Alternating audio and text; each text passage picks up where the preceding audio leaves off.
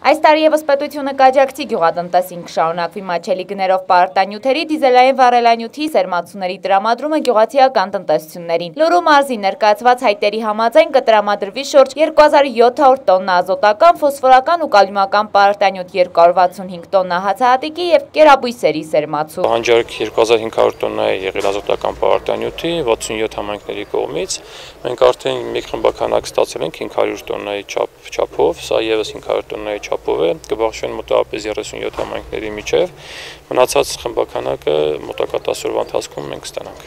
Մոտ 200 տոննայով ազոտական պարտանյութի պահանջարկն այս տարի ավելացել են նախորդ տարվա համեմատությամբ, ընդգծում է փողմարսպետ Թաթևոսյանը։ Եթե մենք անցած տարի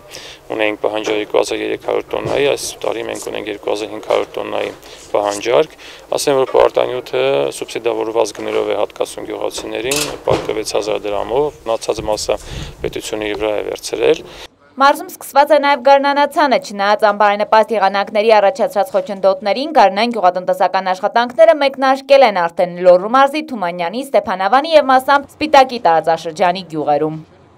Ստեփանովանի տարածաշրջանի մոտ 9 համայնքներում մենք ունեցանք մոտ 1000